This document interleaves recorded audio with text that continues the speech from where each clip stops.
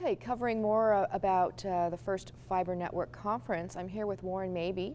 He is a professor at Queen's University and he's with the NSERC Bioconversion Network. Now the word bioconversion, yes. what's the, the genesis um, of that and what does it mean for the NSERC Bioconversion Network? Well, the NSERC Bioconversion Network uh, really is about taking wood apart. So converting wood using biological techniques, uh, using enzymes, which are proteins, using yeasts, which are uh, organisms. So it's all biological.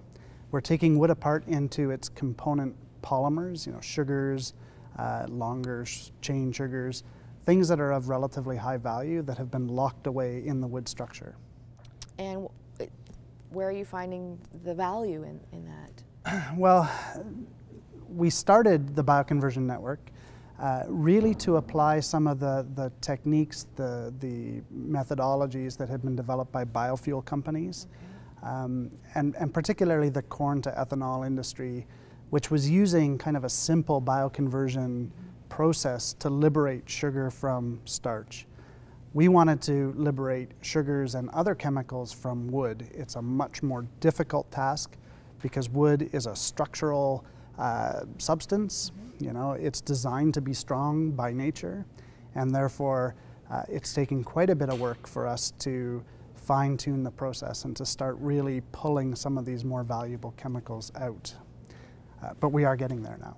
And what could we potentially be doing with those? There are a number of applications, and we're really just starting to explore those now. Uh, certainly, there's the opportunity for fuels. Uh, biofuels are something that uh, have been written into policy. You know, so governments have asked for certain amounts of biofuel, mm-hmm. and we, of course, are interested in ways that we can make biofuels out of wood. Uh, we have lots of wood in Canada. It's a mm-hmm. good opportunity. Mm-hmm. But we're very mindful of the fact that fuels are maybe not the highest value product that's out there. Uh, there are uh, food additives and nutraceutical sorts of applications. Uh, I'm thinking of things like xylitol, which goes in as an artificial sweetener. Mm-hmm.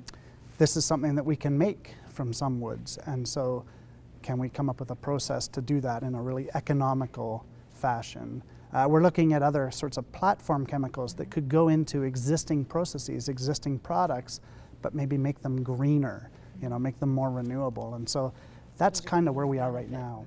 Bioconversion as well. Absolutely, uh, because all of this is uh, coming from wood, and our wood in Canada is grown in a sustainable fashion, harvested in a mm-hmm. sustainable fashion. Uh, we don't have a lot of concerns about the sustainability or the renewability of our industry. Uh, we know that we are doing this as, as well as we can, and I think we're improving it all the time. Uh, what we're learning is how to make new products, value added products uh, that eventually can drive more value, more investment, uh, a more diverse Canadian forest sector. Great, great. And what about uh, influences with, with policy and government? Yeah, well, as I say, biofuels uh, really come about because of policy. Mm -hmm. You know, governments have decided that in order to deal with environmental impacts of petroleum fuels, in order to uh, diversify rural economies, in order to provide energy security, that biofuels is one of the options that we can pursue. And so there are mandates and incentives that are in policy to push biofuels.